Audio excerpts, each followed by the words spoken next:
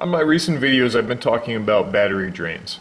And one thing that I noticed is, I don't know if I completely showed exactly how to set up a voltmeter to actually check the parasitic drain so that you can follow easily. Just a couple of things you're going to need. You will need a voltmeter, um, preferably one that has the min-max setting, like this one does right here. This is a fluke meter, although I think you can get uh, other versions of meters a lot cheaper, just it is nice when they have the min-max, otherwise you have to sit and watch the meter. And then I also have a 10 foot retractable test lead, which this is just, it's got a positive and negative on it, and it's telescoping, and I think that's just a Harbor Freight one, which uh, gotta love that store. Most of the time when you get your meter, you have your negative and your positive, right? This is for your voltage in ohms. And then you have a, a milliamp or a microamp, and then you have an amp tab and I'm going to go ahead and move that over to the amp setting. Alright, I just turned my meter off. I'm going to want to go to my amp setting, or this is also milliamp, but it is also for amperage also. You just have to check and match up your settings here with your settings on your gauge. You can see right now it's reading 0.001. The next step is very simple. Just take your positive lead and put one end red with the test lead and the negative with the test lead, right? And that's going only on one side of my test lead, and then I have my other two over here to be attached to my battery and to my ground. So there's my negative. I have my negative here. I'm going to go ahead and attach that to the top post of the battery. Depending on what style battery you have, you may have to connect it right onto the terminal or onto the wiring. Alright, now I need to find a chassis ground. So you need to find a stud or some kind of location where you have a good continuity to ground. And on this particular vehicle I have this stud sticking out right here. I can just go ahead and put that on and I'm set up. So I have one here, one on a chassis ground. I have that going to my retractable test lead to my power and ground and then it's going to go through my meter. Right now, I'm not going to get any amperage reading right now, as you can see, because I'm still connected to the chassis ground, and the electricity takes the path of least resistance, so it's actually going to go through the chassis ground and not through my meter. So what I need to do is disconnect my chassis ground right here. I'm going to take this uh, 13, I believe it is, nut off, and I'm going to move my ground away, and now the voltage will, voltage amperage will go through my test lead through my meter and I'll be able to get a reading now of what the actual drain is on this battery. Alright, loosened up the 13. I'm going to just take the 13 off and you just move your ground. Oop, don't want to drop that into that battery well. That's deep down there. It's a lot to take apart. Okay, move that out of the way. And now I'm going through my test lead and through my meter to my chassis ground. And my reading now is 0.047 or about 50 milliamps. And that is what you want to see. You want to see 50 to 80 milliamps. 80 is a little on the high end. I don't like to see 100 milliamps. I've seen 100 milliamps. It'll drain your battery um, within a week. Your battery might be 50% if it was 100% to start with so if you have your meter here now you can set it to min max and you can monitor for wake-ups if you have a min-max. Now if you have a drain, you would actually see like 0.100 or 1.2, which I can demonstrate in a second. So what I'm basically going to do is wake up the car, but what you don't want to do when you wake up your car to recheck your values, you want to make sure that you don't want to leave your ground off. You don't want to go through your meter with a high amperage spike. That can actually pop the fuse in your meter. So I'm going to go ahead and just loosely put my ground back on, which will allow the voltage to go through the chassis ground instead of through the meter, so that when I wake the car up, now that I have the key, I can wake the car up, right? So my lights flashed, my fuel pump turned on, it's still running. Okay, there we go. I'll wait for that to shut off before I disconnect this. And then we should see a big change in the amperage drain. Okay, so Now my car is awake. It was actually 1.2. It's already gone back down to 0.385. So that's a 385 milliamp drain currently on this car, but it is awake. Keep in mind most cars need at least 30 minutes to an hour to go to sleep. Cars do have a sleep cycle.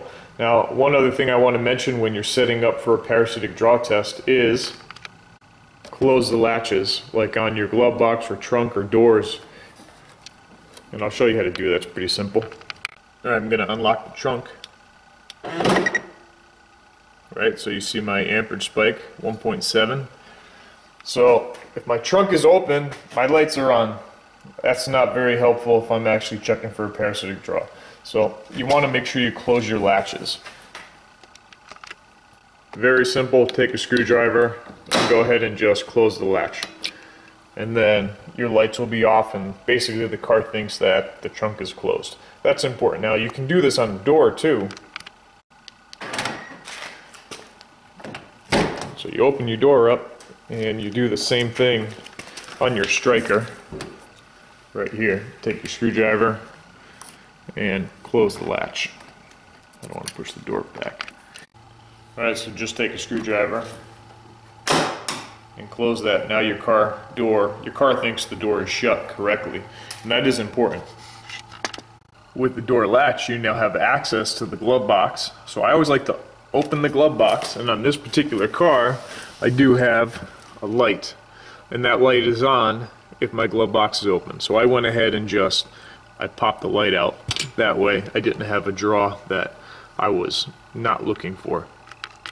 So coming back to my meter, right now I currently have 375 and I'm just going to reset it. You reset it by pressing and holding the min-max which shuts off the recording which I still have 375. So I would have to wait half hour, an hour for the car to go to sleep.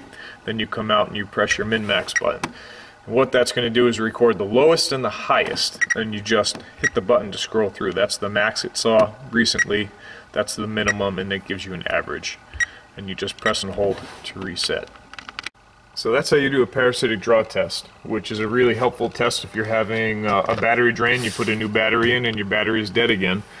Now on this particular car, I removed fuse 45, was it 43? 43 right here, which is this 5 amp fuse which feeds the instrument cluster. So that's how you do a parasitic draw test, which is a really helpful test if you're having uh, a battery drain, you put a new battery in and your battery is dead again. Now on this particular car, I removed fuse 45, was it 43? 43 right here, which is this 5 amp fuse which feeds the instrument cluster. So there's my culprit, but what I found was if I take that fuse out, everything in the instrument cluster works. So that's confusing, right? Shouldn't my instrument cluster be dead? So most of the time there's multiple feeds to a component, so you have to be careful. What that fuse does is it actually feeds the OBD2 port, which is the onboard diagnostic port, which is down here in the corner, right, right here, where you'd scan the car or they would do uh, emissions testing. And what that fuse does is it enables it to talk to the instrument cluster. And that's actually the circuit that's having an issue, strangely enough. So what I did was just remove the fuse, and now my wake up is gone. And we just have to keep in mind that when this car goes through emissions, you have to put that fuse back in or it will fail.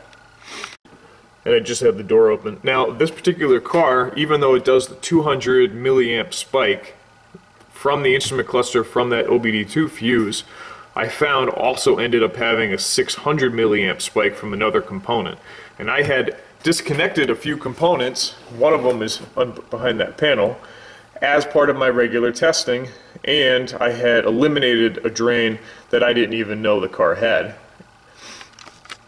So I like to actually test drive the car after, reset it up for a parasitic draw test after I've eliminated what the possible cause could be to rule out other things other than say this instrument cluster right here because I did have another drain on the car. And I'm glad I checked because otherwise this would have drained the battery down in a, a couple of days for the owner of this vehicle. And uh, he's someone I know, he's a good guy. So I didn't want that to happen. This is a new battery that we just put in for him. Some common drains, drains on this uh, BMW that I've seen is the radio. This is an aftermarket radio. I really thought it was going to be the aftermarket radio, but I pulled those fuses from the glove box and that was not it. So I was really surprised. The heater control panel, that's actually a common one also. Either that or the final stage, which feeds the blower motor, can actually cause a drain. And the final stage, which is located um, in the well up under here, uh, on the passenger side is actually a very common cause of a parasitic drain. Lamp modules, that's another cause of a parasitic drain. Um, or what a lamp module, a radio, and a TCU sometimes all have in common is a K-bus or an I-bus, and that's a communication line between all of those components, and they're talking to each other, and if one of them wakes up, it can wake up all of them, and then they all say hello, and then your parasitic draw spike goes up really high. There is a splice location behind the glove box for that, where you'd have to drop the glove box, take the splice location out, take each pin individually off the comb, and then you can put one on at a time to see which component is causing your wake-ups. That's the only way to find that. Let me show you one other spot that got me once. So on the left side of the trunk on an E46, and these clips, if you have this style, you just put something underneath and pry them up. And you can pop these out.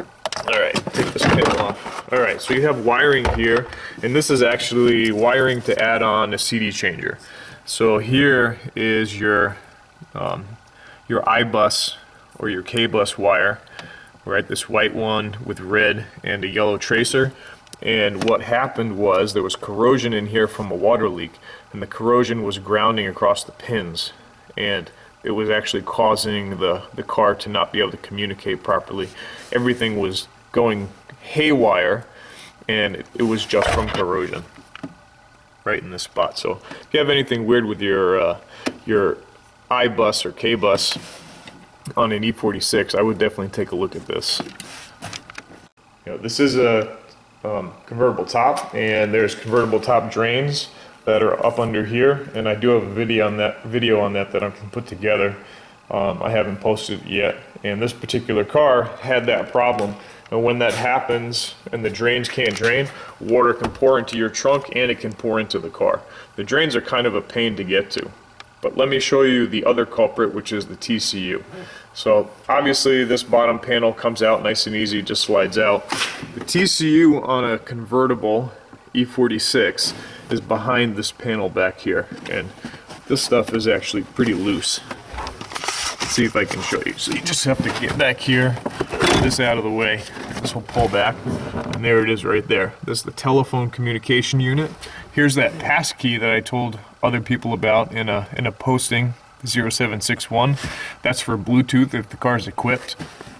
Although nowadays with uh, smartphones, they usually don't like it very much. They're not, these are not compatible with uh, current smartphones. And there's my connector that I've disconnected back there. So this TCU is really obsolete. Since it's obsolete, I can go ahead and disconnect it, and that's how I'm going to leave it. And that's going to fix the wake up that this uh, person had, the 600 milliamp wake up. So between the two issues, taking the fuse out for the instrument cluster for the OBD2 and disconnecting this uh, TCU, now I've just saved uh, this person, I mean, it's probably almost a $1,000 with replacement of the instrument cluster. I mean, this module too, I mean, we might be talking a thousand, fifteen hundred dollars to fix a car that, you know, again, is a great car to drive, but these are things that you don't necessarily need. So I put my ground back on, and just one final note, you want to check a car both locked and unlocked, and sometimes after you drive it, and sometimes, you know, just letting it sit and waking it up and opening the door and playing with the electronics. All of those factors could come in play in order for you to recreate the situation that's creating the drain.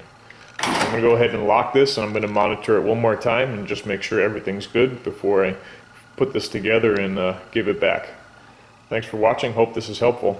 Likes and positive comments are appreciated and please remember to subscribe.